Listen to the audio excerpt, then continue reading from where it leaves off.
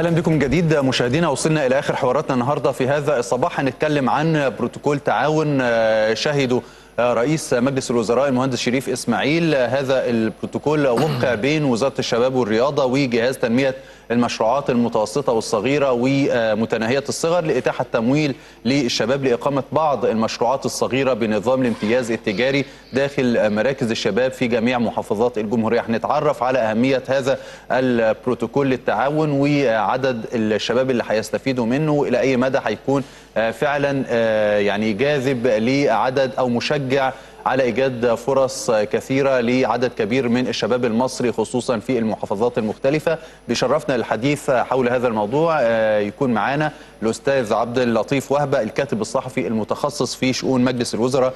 أستاذ عبد اللطيف صباح الخير واهلا بك صباح النور يا فندم. خلينا أستاذ عبد اللطيف ومشاهدينا الكرام نتابع اولا هذا التقرير ثم نعود لنبدأ النقاش. شهد المهندس شريف إسماعيل رئيس مجلس الوزراء. مراسم توقيع بروتوكول تعاون بين وزارة الشباب والرياضة وجهاز تنمية المشروعات المتوسطة والصغيرة ومتناهية الصغر لإتاحة تمويل للشباب لإقامة بعض المشروعات الصغيرة بنظام الامتياز التجاري داخل مراكز الشباب بكافة محافظات الجمهورية. يأتي ذلك في إطار الدور الذي تقوم به وزارة الشباب والرياضة من أجل توفير وتطوير الأماكن الخاصة برعاية طاقات الشباب المصري وفي ضوء الخدمات التي يقوم بها جهاز تنمية المشروعات المتوسطة والصغيرة ومتناهية الصغر لدعم ومساندة الشباب في توفير فرص عمل حقيقية تساعد على توفير حياة كريمة لهؤلاء الشباب. يقوم المشروع على منح تمويل للشاب أو مجموعة من الشباب لإقامة مشاريع بمراكز الشباب تتضمن تطوير الملاعب وإنشاء حمامات للسباحة وإنشاء وتطوير صالات الجيم. وتقوم وزارة الشباب بمقتضى هذا البروتوكول بتحديد خريطة إقامة هذه المشروعات وأهم المناطق المطلوب القيام بتطويرها مع إصدار تراخيص لمزاولة النشاط وتقديم الدعم الفني للمستفيدين مع وضع تصميم موحد للمشروعات بالإضافة إلى المواصفات الفنية والهندسية للملاعب وحمامات السباحة والجيم التي سيتم تنفيذها على قوة هذا البروتوكول. من جانبه قال المهندس خالد عبد العزيز وزير الشباب والرياضة أن هناك ألف مركز شباب على مستوى الجمهورية بحاجة للتطوير مشيرا إلى أن إجمالي مراكز الشباب بالمحافظات بلغ أربعة آلاف مركز شباب من بينها ثلاثة آلاف مركز تم الانتهاء من تطويرها. نتكلم أكثر مع الأستاذ عبد اللطيف وهبة الكاتب الصحفي المتخصص في شؤون مجلس الوزراء حول هذا البروتوكول وأهم ما تضمنه من بنود. أهلا بك مرة ثانية أستاذ عبد اللطيف. عايزين نتعرف لهذا البروتوكول أهم ما تضمنه من بنود ومواد يعني أنا شايف إن ده من الأمور الهامة جدا في مثل يعني في في في الظروف الحالية. إنك تبتكر يعني في وقت إحنا طبعا لنا ظروف اقتصادية خاصة بنحاول مواجهة مشكلة البطالة بنحاول ننمي لدى الشباب روح يعني الابتكار وإنه يبقى ليه مشروعه الخاص به عدم الاعتماد على الحكومة فيما يتعلق بأن يعني ما كان في الماضي اللي هو التعيين في الحكومة. هنلاقي أن هذا البروتوكول يمكن سمح 他 لجهاز تنمية المشروعات الصغيرة والمتوسطة بوزارة الصناعة والتجارة الخارجية بالتعاقد مع وزارة الشباب أو توقيع بروتوكول مع وزارة الشباب يسمح بتمويل مشروعات للشباب داخل مراكز الشباب نفسها. إحنا عندنا حوالي 4000 مركز شباب على مستوى الجمهورية. يمكن الوزارة في الفترة الأخيرة قامت بتطوير حوالي 3000 مركز شباب. ال 3000 يعني التطوير في مراكز الشباب معناه مش معناه إن أنا أعمل ملعب بس أو كذا أو كذا ولكن أنا بعمل بنية أساسية في مركز الشباب. يمكن حضرتك لو شفت مركز شباب الجزيرة على سبيل المثال هتلاقي تجربة مختلفة تماما. هذا البروتوكول بيقوم على إن الشباب الذي يرغب في إنشاء مشروع آه، بتحتاجه آه، مراكز الشباب نفسها. يعني عايز تعمل مثلا آه، ملعب آه، باسكت. عايز تعمل آه، كافتيريا كويسة داخل مركز الشباب. عايز آه، تعمل آه، ملعب كرة قدم. آه، يسمح لك الجهاز آه، إن هو يوقع معك آه، آه، اتفاق تمويلي. آه، هذا الاتفاق بحيث يكون سن الشباب آه، من 20 حتى آه، 40 سنة. آه، الاتفاق لم يتم آه، حتى الآن إعلان المبلغ ولكن الجهاز على استعداد للتمويل آه، الكامل ايا كان المبلغ. آه، ثم بعد ذلك آه، بينشئ هذا المشروع أو بيقدم دراسة جدوى للمشروع. طبعا الجهاز هو اللي بيؤدي. آه, آه. كمان بمساعدة وزارة الشباب والرياضة. يعني آه لأن هي أدرى بمركز الشباب اللي هيتعمل فيه هذا هذا المشروع أو هذه المنشأة أو خلافه. هي أدرى بهذا هو المشروع. وزير الشباب حتى قال إن في ألف مركز شباب هم اللي في حاجة إلى تطوير وتحديث. في حاجة آه. إلى تطوير. وبالتالي يستطيع الشاب أنه هو يتقدم لجهاز تنمية المشروعات الصغيرة للحصول على التمويل آه، ثم يتم عقد اتفاق اللي هو آه، اتفاق آه، يعني تأجير آه، تمويلي آه، أو بحق الانتفاع آه، في مركز الشباب لفترات معينة يستطيع الشاب أن هو يقيم هذا المشروع. تمام. بس ين- قبل ما الشاب يروح لجهاز آه، تنمية المشروعات المتوسطة والصغيرة ومتناهية الصغر هل آه، الأول بيتفق بين مثلا لو شاب في قرية معينة أو في حي معين بيتفق الأول مع مركز الشباب أو يشوفوا إن هو محتاج ده وبعد كده يروح للجهاز ولا؟ ده لا ده صحيح لأن ال- الأدرى باحتياج مركز الشباب هو وزارة الشباب والرياضة آه، فمن الممكن للشاب آه، بالاتفاق مع وزارة الشباب والرياضة في أي مركز شباب على ال- المراكز اللي هي الألف اللي هي محتاجة تطوير أو آه، تدعيم أو خلافه آه، بيتقدم الشاب آه، آه، وزارة الشباب على فكرة هتعلن كمان آه، هذه؟ المشروعات في مراكز الشباب على مستوى الجمهورية آه. يستطيع الشاب إن هو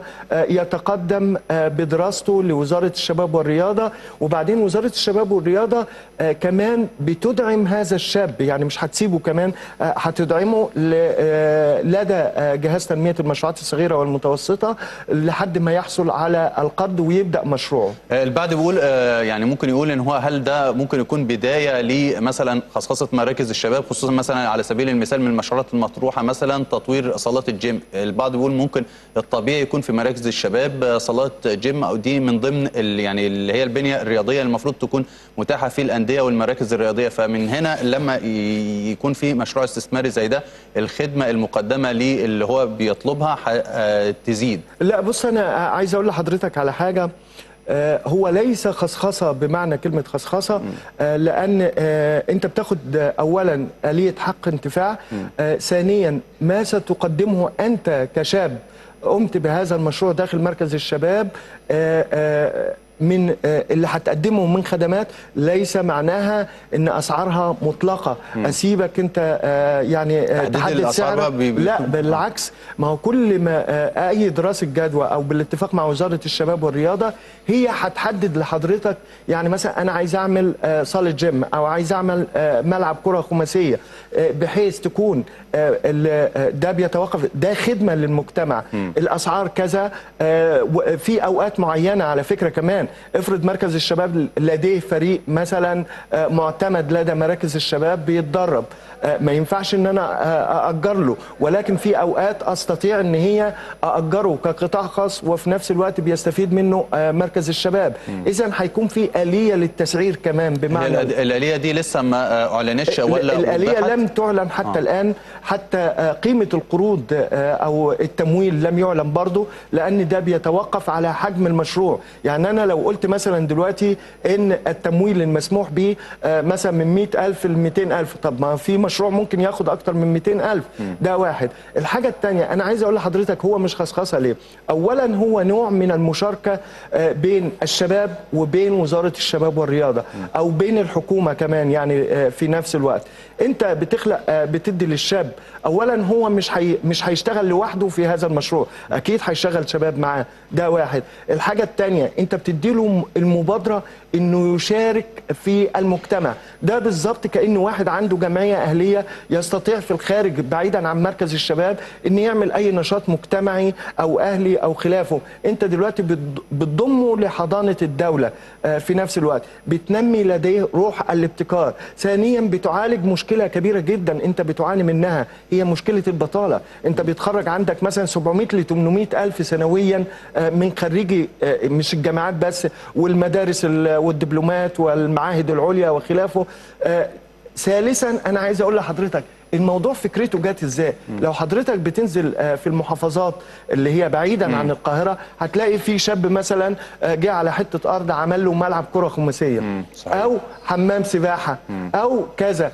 طيب آه، آه، ما تضم كل هذه المشروعات أو آه، الذي لديه فكرة لهذا المشروع أو مشروع جديد إنك تدخله مراكز الشباب. في نفس الوقت أنت محتاجها.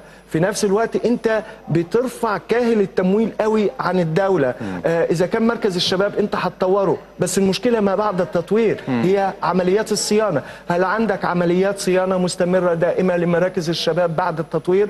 ما اعتقدش. وبالتالي أنت لما بتدي للشاب آه، بموجب حق انتفاع سواء 15 أو 20 سنة أنت بتضمن كمان استمرارية المشروع وتحديثه وتطويره يكون له صيانة وخلافه. آه، هل آه، أعلنت سواء وزارة الشباب والرياضة ولا جهاز المشروعات المتوسطة والصغير عدد الفرص أو عدد فرص العمل المتوقع أن تتولد بعد تفعيل هذا البروتوكول وتطبيقه على أرض الواقع؟ آه لو حضرتك حسبتها مثلا شفت م- آه، ألف مركز شباب.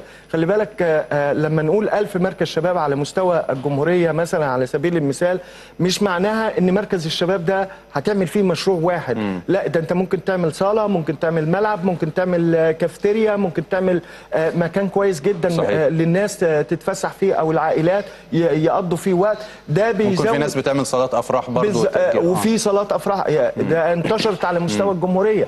إذا ده آه، أعتقد إنه من المشروعات ال- الهامة إنك تجذب الشباب ويبقى في مشاركة مجتمعية فيما تقدمه الدولة من خدمات. يعني الخدمات الآن المفروض إن هي لا تكون قاصرة على الدولة فقط ولكن على الشباب اللي هو الباحث عن فرص عمل إنه يتقدم بمثل هذه المشروعات. طبعا هيمتص جانب كبير جدا من الشباب في المحافظات خصوصا المحافظات اللي هي الوجه البحري المزدحمة آه الشباب اللي هو بيدور على فرص عمل آه ممكن شاب يحاول يعمل نفس المشروع بس خارج إطار مركز الشباب مثلا على سبيل المثال لو هو عنده حتة أرض خاصة بيه أو مشروع خاص أو بيه آه. بيتعرض لإجراءات بيروقراطية شديدة جدا واحيانا تصاريح وخلافه أنت لكن أنت هنا في هذا المشروع أنت بتضمن إنك هتديله كافة التراخيص اللازمة لبدء نشاطه داخل مركز الشباب. هل أعلن البروتوكول دوت هيتنفذ على أرض الواقع بدءا من إمتى ولا؟ ده على الفور بعد التوقيع هو في حيز التنفيذ على اعتبار ان إن وزارة الشباب والرياضة كانت تقدمت بأكثر من مرة آه، بخطة آه، وناقشها مجلس الوزراء وهي آليات تطوير مراكز الشباب على مستوى الجمهورية. إحنا عندنا على مستوى الجمهورية أكثر من 4000 آه، آه، قرية آه، بتحتاج آه، إلى عمليات تطوير.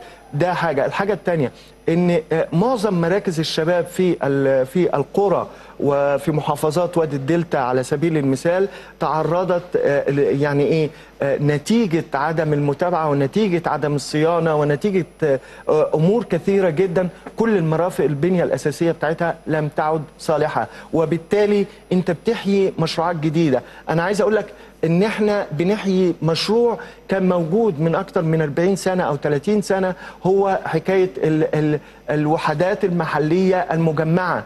كل ست قرى في في في أي محافظة آه، كان بيبقى لهم وحدة محلية مجمعة بيبقى فيها مركز الشباب. ده كان زمان مش موجود دلوقتي.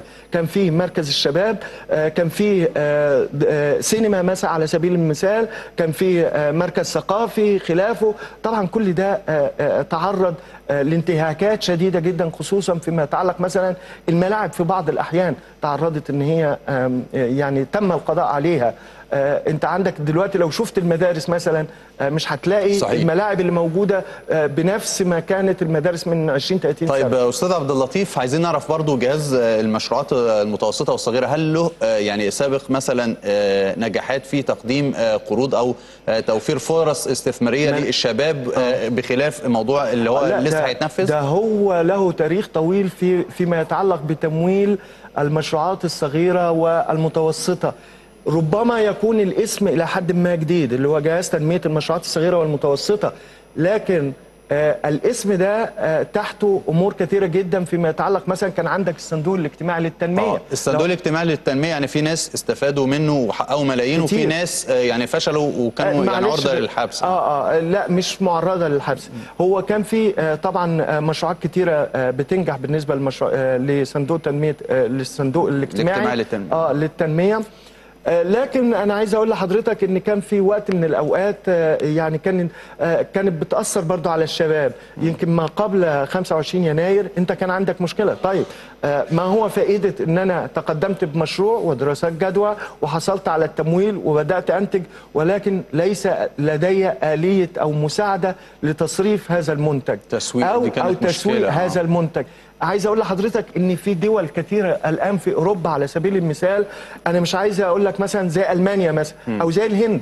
اقتصادها جانب كبير منه يقوم على المشروعات الصغيرة والمتوسطة انت ما عندكش ألمانيا ما عادتش تعتمد على آه، مثلا نقول آه، السيارات مرسيدس أو خلافه آه، لكن أصبحت تعتمد على ال- المشروعات الصغيرة والمتوسطة صادرات ألمانيا من المشروعات الصغيرة والمتوسطة بتلعب وده ملاحظ. فيه إن العديد من اللاجئين السوريين اللي عملوا مشروعات صغيرة ومتوسطة استطاعوا. إن هم يحققوا أصبحوا علامة في الاقتصاد القضية الألماني بقى إنك آه. توجد له البيئة المناسبة. تمام. آه، الأستاذ عبد اللطيف وهبه الكاتب الصحفي المتخصص في شؤون مجلس الوزراء. شرفتنا يا فندم وصباح الخير. شكرا صباح الخير آه، بكرة إن شاء الله مشاهدينا الكرام حلقة جديدة وفريق عمل جديد. حتى ذلك الحين تقبلوا تحياتنا وإلى اللقاء.